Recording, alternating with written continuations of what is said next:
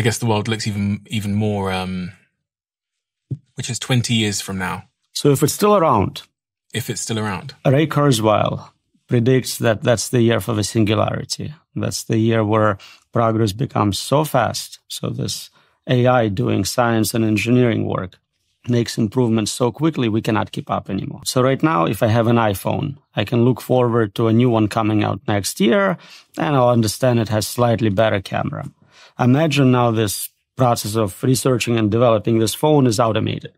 It happens every six months, every three months, every month, week, day, hour, minute, second. You cannot keep up with 30 iterations of iPhone in one day. You don't understand what capabilities it has, what proper controls are. It just escapes you. Right now, it's hard for any researcher in AI to keep up with the state of the art. While I was doing this interview with you, a new model came out, and I no longer know what the state of the art is.